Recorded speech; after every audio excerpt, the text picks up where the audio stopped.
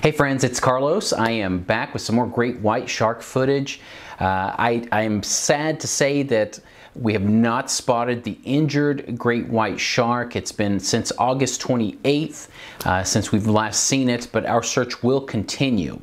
Uh, the California wildfires have played a role in our monitoring of the great white sharks. Visibility has been really bad, but a couple days before visibility went downward, I was able to capture some great white sharks in a kelp bed as well as some sharks swimming through some bait balls. So I'm going to share that with you now. Let me know in the comments what you think, and hopefully uh, in my next update I can tell you that we found the injured shark.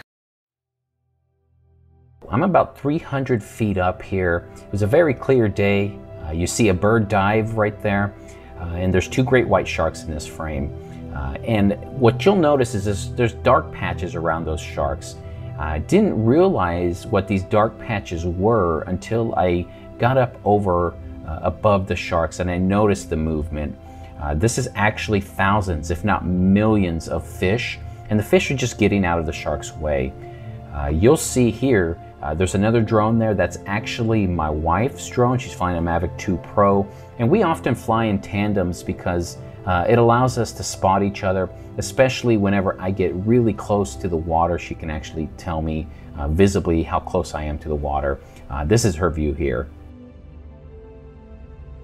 Now, when I do get really close, uh, I can actually see the detail of these fish.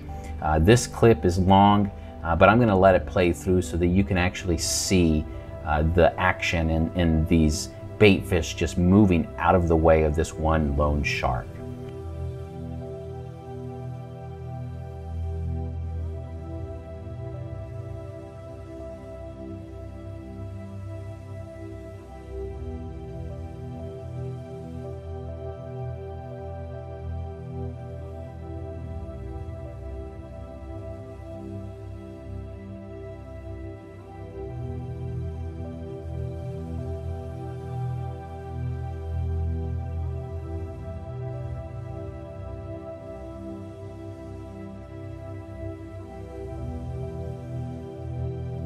This shark here is uh, one we thought had some kind of an injury on its face and uh, I photographed it up close and filmed it here. Uh, what this is is actually a battle scar. This shark uh, appears to have uh, five claw marks on the front and just a, about three more right behind its uh, pectoral fin there. that is more than likely from a, a seal or sea lion and um, sometimes they do get scarred up while they're in battle.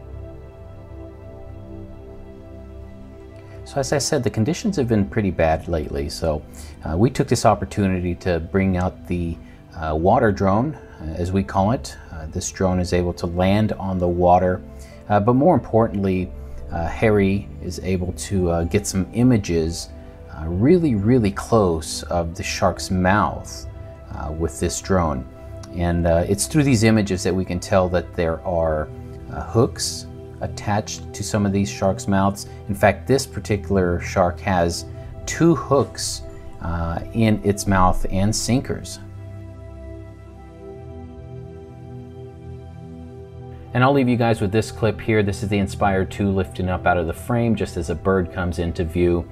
Uh, this clip gives you an idea of how bad the visibility has been over the last 10 days uh, due to the California wildfires.